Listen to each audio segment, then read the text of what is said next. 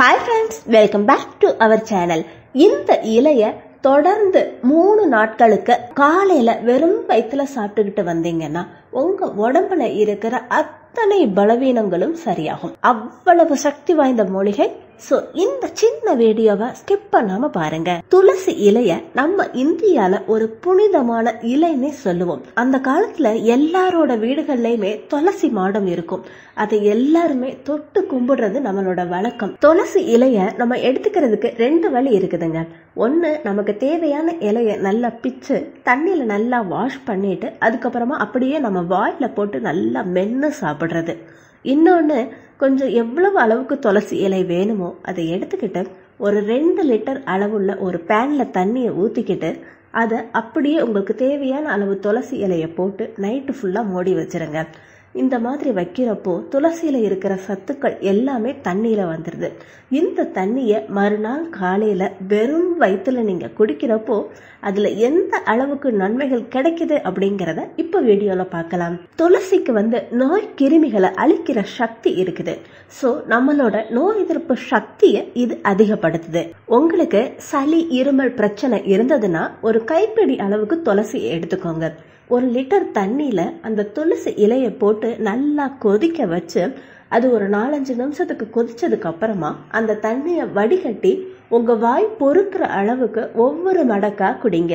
இந்த மாதிரி குடிக்கிறப்போ அந்த தொண்டையில இருக்கிற நோய் கிருமிகள் அழிஞ்சு நமக்கு சளி இருமல் பிரச்சனையே வராது. ஒருவேளை உங்களுக்கு தொண்டை இன்ஃபெக்ஷன் தொண்டையில புண் இருந்துச்சுன்னா அந்த தண்ணியை வச்சு கொப்பளிச்சா உடனடியா சரியாகும். துளசி இலைய நைட்டு ஃபுல்லா ஊற வச்சு மறுநாள் காலையில அந்த தண்ணியை குடிக்கிறப்போ அந்த தண்ணியில anti accident anti inflammatory property அதிகமாக இருக்கும் ஸோ அது நம்மளோட ரத்த ஓட்டத்தை சீர்படுத்துது.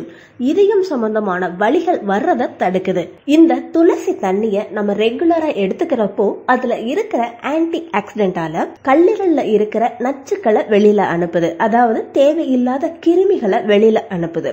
அதோட கல்லீரல்ல கொழுப்பு சேர்றதையும் குறைக்குது.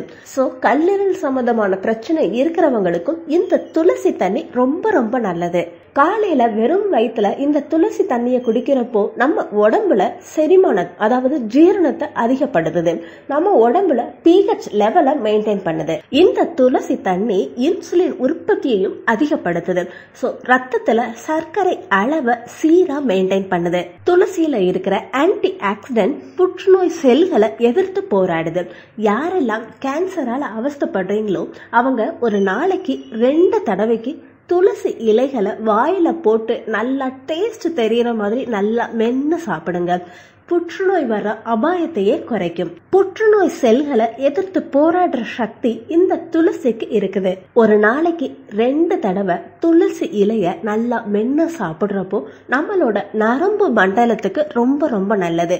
நம்மளோட ரத்த ஓட்டத்தை சீர்படுத்துது. கால்சியம் ஆக்சலேட் யூரிக் அமிலம் இந்த ரெண்டு ரசாயனங்கள் தான் சிறுநீரக கற்கள் ஏற்படுறதுக்கு முக்கியமான காரணம். நம்ம துளசி இலைய மென்னு சாப்பிடுறதாலயோ இல்ல துளசி நீரை வந்து டெய்லி நம்ம குடிக்கிறதாலயோ சிறுநீரக கற்கள் பிளஸ் அதனால ஏற்படுற வலியையும் குறைக்கிற சக்தி இருக்குது. யாரெல்லாம் ஆபீஸ்க்கு போறப்போ வெளியில நாலு பேர்கிட்ட பேசுறப்போ உங்க வாயில இருந்த வாய் துர்வாசனை வருது. யார்கிட்டயுமே என்னால ஃப்ரீயா பேச முடியல.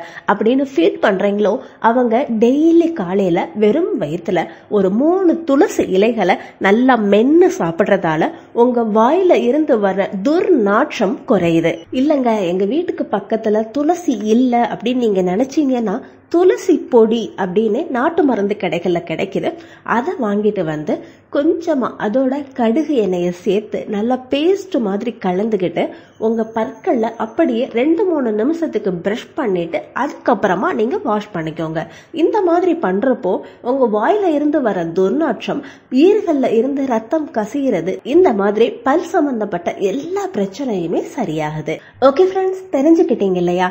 துளசி நம்ம பயன்படுத்துறதால என்ன என்ன பெனிஃபிட்ஸ் கிடைக்குதுன்னு இந்த வீடியோ உங்களுக்கு பிடிச்சிருந்ததுன்னா லைக் பண்ணி உங்க ஃப்ரெண்ட்ஸுக்கு ஷேர் பண்ணுங்க. நம்ம சேனலை இப்பதான் நீங்க ஃபர்ஸ்ட் டைம் பாக்குறீங்கன்னா இந்த மாதிரி நல்ல நல்ல ஹெல்த் ரெமெடிஸ் தெரிஞ்சுக்கிறதுக்கு சப்ஸ்கிரைப் பண்ணி பக்கத்துல இருக்க பெல் ஐக்கனையும் கிளிக் பண்ணுங்க. அடுத்த ஒரு இன்ட்ரெஸ்டிங்கான யூஸ்ஃபுல்லான ஹோம் ரெமெடியோட நான் உங்களை மீட் பண்றேன். And till take care bye